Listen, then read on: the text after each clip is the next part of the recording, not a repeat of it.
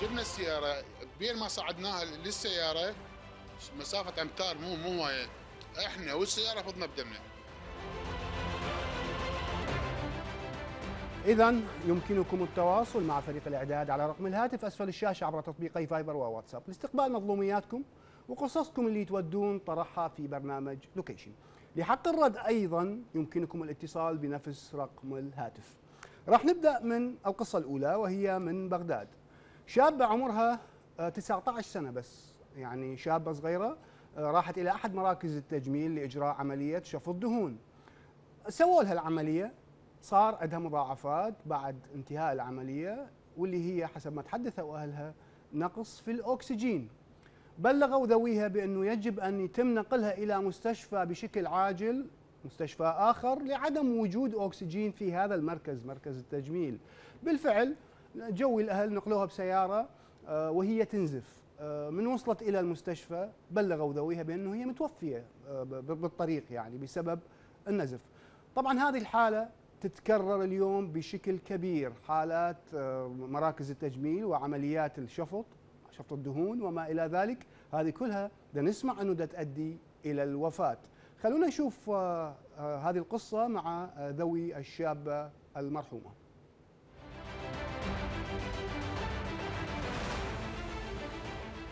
المرحومة زوجة أخوي عمرها 19 سنة. ما تعاني من أي أمراض؟ سليمة من كل شيء.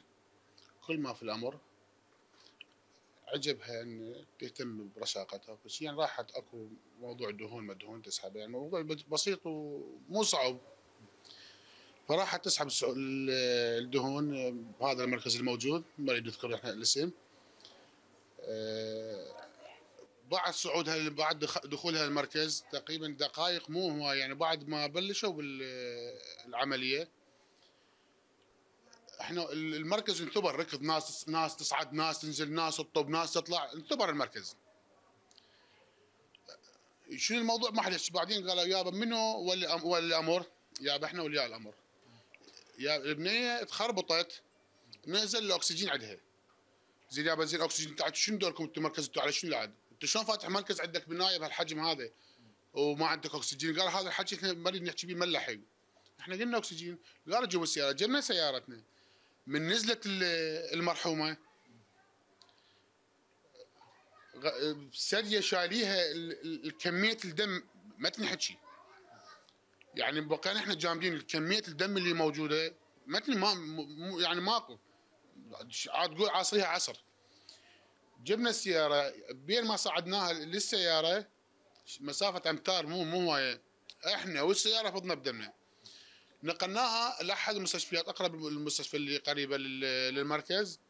وصلناها راسا اجراء سريع أكسجين كهرباء قالوا يا جايبتهم متوفيه لأن نسبة الدم بما بالكفاية.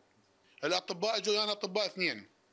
وصلوا بس عرفوا بيها توفت اختفوا. انهزموا انهزموا إضافة إن المركز طبعا موجوده يمه دورية واقفة دورية واقفة باب المركز. والمستشفى أكو بها من. زين أنتم شو حالة من من من ذول انهزموا وجايبين نفس روح وهالروح خرقانة بدمها. دوركم وين يعني؟ البنية بنتي هي شنتي بنتي 19 سنة عمرها. بعدها بعد شبابها. راحت لهذا المركز. تسوي العملية. والعملية طلعوها انثبرة وثبيرة الممر انثبر. ابني واقف صافوني يقول إيش ما أدري نعم باله مو مرته اللي ماتت. ردوا صاحوا منو ويا داني يا محمود ولي أمر قال لهم أني. قال له حضر السيارة. ليش أنتوا أسعاف؟ ماكو بالمستشفى من مسوين هاي المركز؟ حضر جاب ابني سيارته خلوها بالسديه يقول غرقت الممر بالدم شالوها ودوها مستشفى بزيونه أهلية وداها. طلعوا ويا دكاترة اثنين اختمين شافوها ماتوا قال لهم الم- المستشفى اللي بزيونه يابا متوفية بالمركز. توفت بالمركز هاي البنية. اختفوا الدكاتره أبو قفد ابني شابح ويلوبح خابرنا البنية متوفية. ميتة. البنية لما أنتوا تاخذونها الفلوس فاتحينها المراكز وانتوا كل شيء ما تعرفون ليش. إحنا شنو ذنبنا وشنو ذنب بينها اللي تيتم يتيم عمره عشرة أشهر. شنو ذنبه؟ أنا ناشد مصطفى الكاظمي. إحنا ما نجوز منها من عندهم. أنا ناشد السيد مصطفى الكاظمي. يسوي صورة حل لهالمراكز هذني. إحنا ما عندنا طبنا فاشل. طب طب مو خوش طب عندنا. أنا ناشده وي- ويسمع صوتي. هو والسيد عثمان الوزير الوزير مالت الداخلية. لازم يسدون المراكز وبناخذ حق بتنا إحنا اتخذنا كافة الإجراءات القانونية والخطوات وإن شاء الله إحنا كنا أمل بالقضاء العراقي إنه يكون منصف لا موكلي اللي هو حاليا القضاء من باب أنصفه ومن باب ظلمه.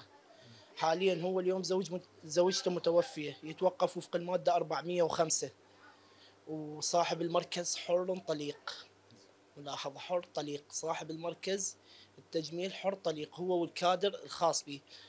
إحنا قدمنا كل الطلبات اللازمة وقدمنا كل ما عندنا للقضاء وطرحنا ال- الكرة في ملعب القضاء. وإحنا ننتظر منه الإنصاف الموكلي. إحنا كنا أمل بالقضاء العراقي اللي يشهد له القاصي والداني.